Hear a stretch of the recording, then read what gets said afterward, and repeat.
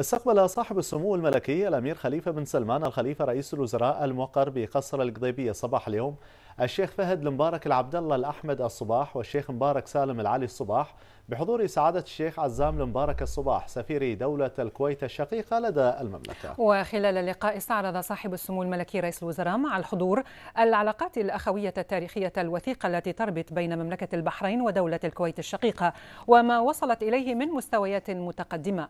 وأكد سمو في هذا الصدد بأن هذه العلاقات المتميزة بناها الآباء والأجداد وهي مترسخة في تاريخ البلدين وينبغي على جيل الشباب مواصلة خطى السابقين في الحفاظ على هذا النموذج النموذج الفريد الذي تمثله العلاقات البحرينية الكويتية. وقد أشاد الحضور بالدور الرائد لصاحب السمو الملكي رئيس الوزراء في دعم الأسس المتينة التي تستند عليها العلاقات البحرينية الكويتية معربين عن الاعتزاز والتقدير بما أبداه سمو سموه من حرص على أن يحمل جيل الشباب من البلدين أمانة الاستمرار فيما أسسه الأولون في جعل العلاقات البحرينية الكويتية لها خصوصيتها وتميزها.